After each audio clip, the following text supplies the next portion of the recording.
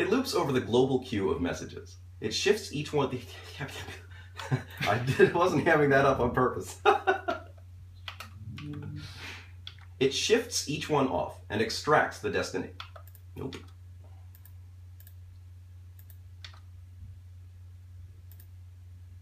It loops over the global queue of messages. It shifts each one off and extracts the destination address, the message selector, and any arguments. If it can't find the destination, it throws the message away. Otherwise, it looks up the receiver and pulls out the behavior and current state associated with that object. It then in noises from above.